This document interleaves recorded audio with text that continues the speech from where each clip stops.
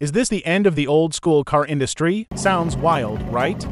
But imagine this you're walking to the parking lot, your hands full, and with just one tap on your phone, your car moves toward you.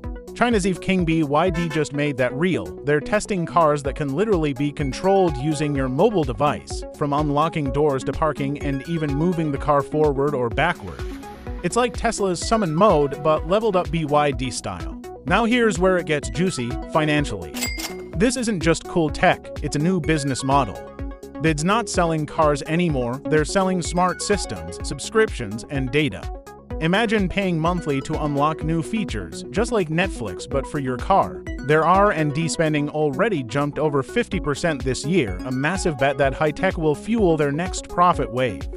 But big innovation means big risk. Investors are watching if these sci fi upgrades actually turn into real revenue.